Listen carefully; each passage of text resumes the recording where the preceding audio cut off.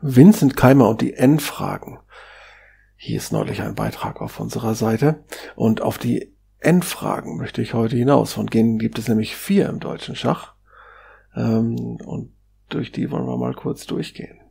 Da ist natürlich einmal ganz zuvor das die Frage nach Arkadi Neidic, ein deutscher Staatsbürger, der ähm, vor fünf Jahren zum aserbaidschanischen Verband gewechselt ist. Das geht beim Schach, ähm, wenn man seinen Wohnsitz woanders hat. Äh, der hat ein super Angebot bekommen, ist da hingegangen. Jetzt ist sein Vertrag mit Aserbaidschan ausgelaufen. Jetzt will der deutsche Arkadi Neidic wieder unter deutscher Flagge spielen. Der deutsche Verband sagt, nö, wir wollen dich nicht. Das ist die eine Endfrage. Die nach Arkadi Neidic. Dann gibt's ja die Frage nach dem Neuanfang. Im deutschen Leistungssport ist unheimlich viel zerbrochen. Ähm, da ist erstmal ein Streit mit dem Nationalspieler Georg Meyer ausgebrochen, äh, den die Nationalspielerin Elisabeth Pätz öffentlich beleidigt hat auf Twitter und auf der Playchess-Plattform. Ähm, Georg hat dafür Konsequenzen gefordert, die sind nicht gezogen worden und, und dann ging es immer weiter. Dann wurde der Leistungssportverantwortliche schleichend entmachtet und schließlich äh, geschasst. Dann wurde der, der Frauentrainer im Leistungssport rausgeekelt. Das kann man wirklich nicht anders nennen. Äh, letztlich musste dann ähm, der Nationaltrainer, der Bundestrainer gehen, nachdem es zu einem Aufstand der Nationalspieler gekommen war. Missmanagement ohne Ende, keinerlei Verlässlichkeit und auch nichts Zielführendes. Ähm, bis sie dann vielleicht aufgewacht sind. Keine Ahnung. Jetzt sagen sie jedenfalls Neuanfang. Ob sie Neuanfang machen, ist noch offen. Das ist halt eine der N-Fragen, die nach dem Neuanfang. Es gibt noch eine N-Frage, nämlich die nach Livio Dieter Nisipiano. Der spielt seit sieben Jahren für Deutschland und es hat sich jetzt rausgestellt, der ist weder Staatsbürger noch lebt er in Deutschland. Den Regeln nach dürfte der gar nicht für Deutschland spielen.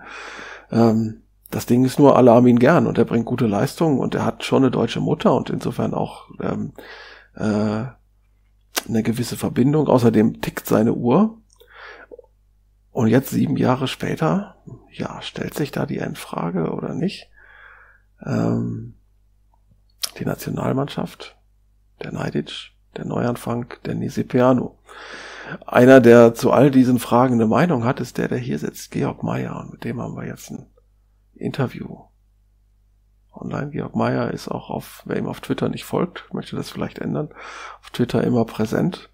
Ähm, und Georg Meyer lässt sich zu all diesen Dingen ein und, äh, und neben den vier N-Fragen geht es auch um die U-Frage, denn Georg Meyer, nachdem er sich in dem Fall Pats, der mittlerweile über ein halbes Jahr her ist, äh, vorgeführt fühlte, nachdem er sich erst beleidigen musste und, und ihm dann niemand zur Seite sprang, im, im Gegensatz. Elisabeth konnte immer weitermachen. Ähm, hat er gesagt, okay, ich tue mir das nicht mehr an, ich gehe nach Uruguay. Der war sogar bereit, einen Teil der Wechselgebühr an die 4000 Euro selbst dafür zu bezahlen, aber es wäre noch mehr fällig gewesen. Das wollte der Deutsche Schachbund dem Uruguayischen nicht erlassen und so war das in der Schwebe, aber nun gibt's neue Regeln und Ende dieses Jahres wäre Georg Meyer frei und könnte für 50 Euro oder so wechseln. Ich habe ihn gefragt, ob er das möchte und er sagte, die Tendenz ist ja.